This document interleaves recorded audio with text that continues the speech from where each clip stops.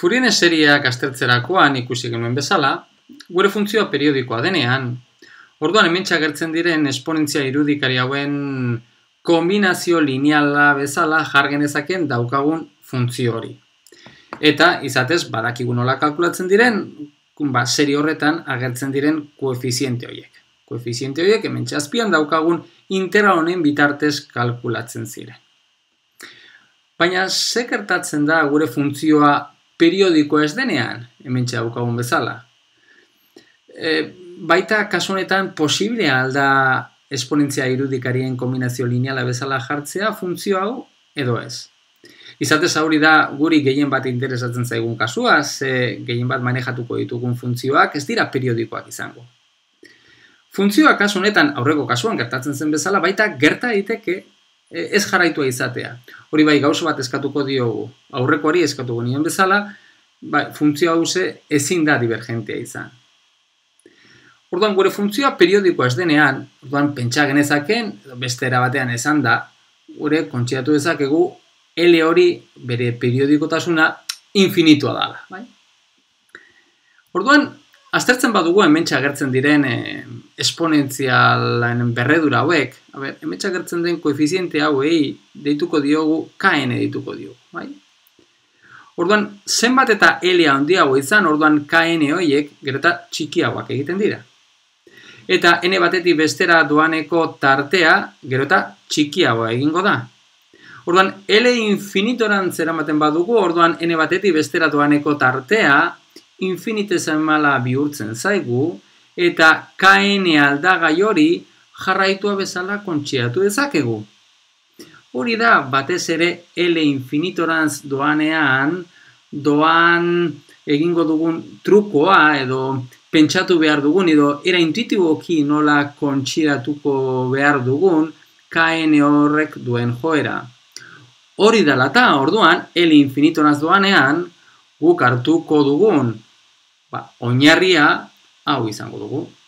Eber, IKX, non K hori, aldagai bat, izango dugu, baina aldagai jarraitua izango dugu. Eta aldagai jarraitu hori, minus infinitotik infinitora joango den.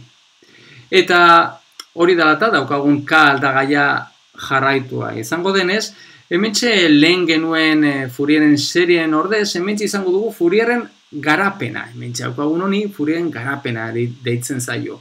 Non batukari honen ordez, integrala dugun. Eta integrala hori minus infinitotik infinitora doan eta k aldagaian egiten den.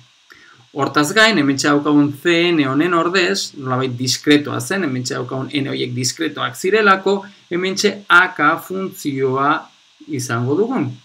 Eta funtzio honi, da f funtzioari dagokion furierren, furierren transformatua deitzen zaio. Transformatua dugu. Orduan, aka hori funtzio bat da, karen funtzioa, kada aldagai jarraitua, minus infinitotik infinitora doana. Eta izatez aurreko kasuan ere CN horiek bagenekien nola kalkulatzen, hemen ere, badakiku nola kalkulatzen den, hemen txagertzen den F-eri dagokion furieren transformatua. Izatez batzutan F-eren furieren transformatu hori F tilde bezala deitzen zai, baina hu erabriko dugu notazioa AK bezala deituko ditugu. Nola kalkulatzen diren funtzio hauek? Hemen txaukagu AK-aren adierazpena ateratzeko. AK hori kalkulatzeko koera hemen dugu, horretarako egin behar dugu, integrala, bueno, kasu honetan, aurreko kasuan CNB kalkulatzeko egiten genuen integrala L zabalereko tarte batean, hemen L hori infinitoa egiten denez, gure funtzio periodikoa ez denean, orduan egin integrala egiten dugu, minus infinitorik infinitora, F bider, eber minus IKX diferentzial X. Izatez, gero, hortaz gain, hemen aurrean agertzen diren bi koefiziente hauek, dira definizioren eh, kontuak dira. Bueno, orduan, lehen erantzun lehen egiten genuen galdenari, badaukagu, badauka bere erantzun bat. Egin, bota ez erantzun bat, posible alda gure funtzioa periodikoa ez denean uin lauen, uin lauak dira, uin lauen kombinazio lineala bezala jartzea? Bai, Hau dugu furieren garapena, eta horretarako ezinbestekoa dugu funtzioari dagokion furieren transformatua kalkulatzea. Beraz, eta hau dugu furieren transformatua kalkulatzeko ba, era. Izatez, hau da gugri gehien bat interesatzen zaiguna. Hau da, gure funtzioa garatu nahi izan ezkero uin lauetan, eta uin lauak dira fizikan asko erabiltzen diren e, uinak asko erabiltzen den oinarriak. Hau da, partikula askeari dagokion e, uinak, uin lauak izango dira. E, utxean, ka zehatza edo uin luzea zehatz eta maiztasun zehatzak mm, ba, edatzen diren eremu elektrikoak uin lauak diren bezala. Ordan guretzat, uin lauen oinarria oso mm, referentzia ondiko Mm, oinarria izango dugu.